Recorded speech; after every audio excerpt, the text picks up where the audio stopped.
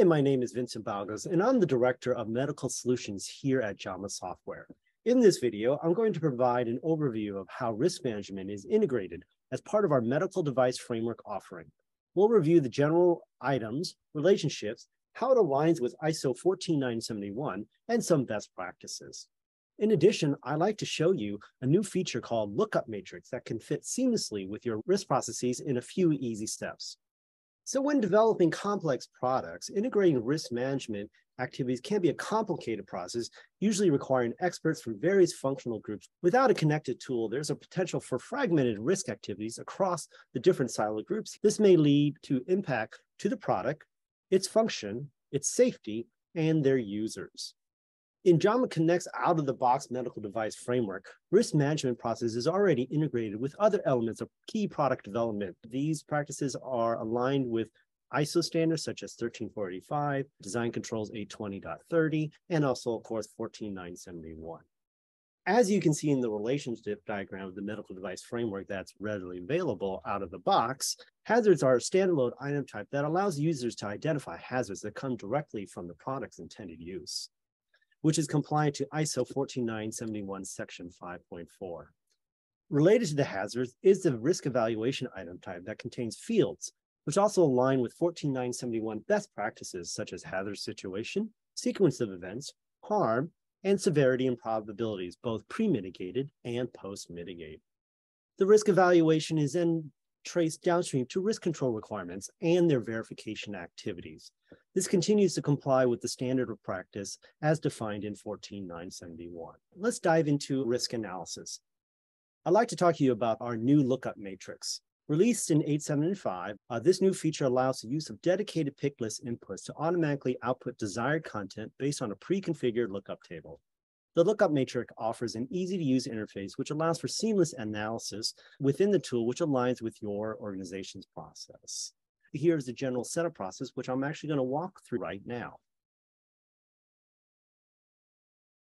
Here's the out-of-the-box medical device framework. If you go into the admin section, one of the first steps is really to configure the lookup matrix. The first thing you have to do is define your pick list. So if I go here on the left, as you can see here, I've already set up an example for my lookup matrix, but this is an easy task to do to create your own that you want. So for example, if I need to create a brand new pick list, all I have to do is hit the, the green button here. We'll call this new pick list for lookup. And the key thing is here is instead of choosing the standard, we actually need to select the new lookup matrix. And what this does is it will create a brand new pick list where then you can define the different options as you have in your other standard pick list. As you can see here, here are some options that, again, taken straight from 14971, some good examples for probability, some info tips, and some color and stuff like that. So you can see here, I've created four different pick lists that will serve as input into my lookup matrix. That's step one. Step two is then to actually create your lookup matrix select on lookup matrix, you can actually see that here's a new field where you can configure your lookup matrix. I've already pre-established this, but if I hit the view button, I can see that my probability P1 and P2 pick list is actually input on both my X and Y axes, and I can actually determine what is that total probability based off these two inputs. The second lookup matrix that we need to create is the risk lookup acceptability, which actually takes input from the probability total lookup matrix that we just talked about, and then compares it against the severity of it. From here, this is where then you can do a lookup analysis based off your organization's risk uh, management process.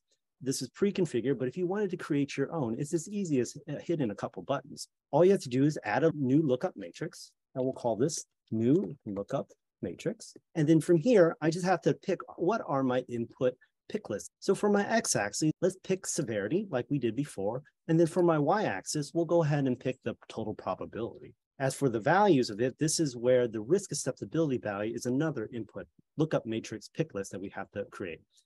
Once you've established that, you go ahead and hit generate matrix. And then the bottom screen here, you can actually then configure your matrix per your organization. So for example, here I can click that this is low, but maybe here, this is where I wanna actually then increase the level of risk. As you can see here, this is quite easily configurable and easily managed. Now that you've established your lookup matrix, The last part is actually configuring your item type fields.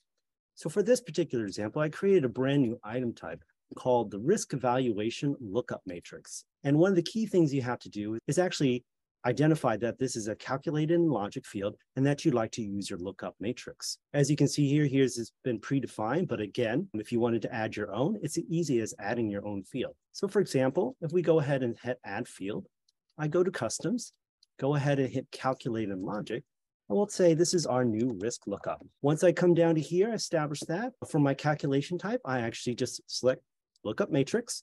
And then as my calculation source, I actually want to define my risk acceptability. And then here's where then I define what are the fields to be used as input. So for this one here, it comes pre-populated with the severity. But the next one is, is like, do I want to talk about pre-mitigated P total or residual P total? Why don't we go ahead and pick residual? So that can establish your new field. Now that you configured your lookup matrix appropriately within your admin section, why don't we jump to the project and see how that looks. As you can see in this new project, I created this new item type called the risk evaluation lookup matrix. In the list view, as you can see here are some pre-populated examples of this new item type with the lookup matrix functionality enabled. As you can see here, this follows the general standard best practice with 14971 in terms of identifying your hazards, sequence events, hazard situation. But more importantly, I identify what the severity is, the P1, P2, and P total. Again, based off your lookup matrix configuration, this is predetermined. But I can see here, for this example, on my risk example five, that actually I have not identified what is my P1 mitigated. But this is really nice because with this view, you can take a look at seeing what has not been enabled, and then you can address it immediately right here on the screen. Let me show you how. So for this particular example, I can see that my P1 hasn't been defined yet. This is as easy addressed as by just go ahead and double click this. Let's say with this is again, this is pre-mitigated. This is probably a more a probable type of event. I can go ahead and hit probable and you can see that my P total is automatically updated again based off of my first lookup matrix. And then my risk level is also then determined based off that second lookup matrix that we've had here. If I further go down the list here, I can see I can go back and then say, hey, let's define what our P1 mitigator looks like. So then with that, let's say, you know, I put it in the risk controls and say this is now improbable. I can go ahead and update based off of that. My P total has been reduced now to medium, but my risk level is still high.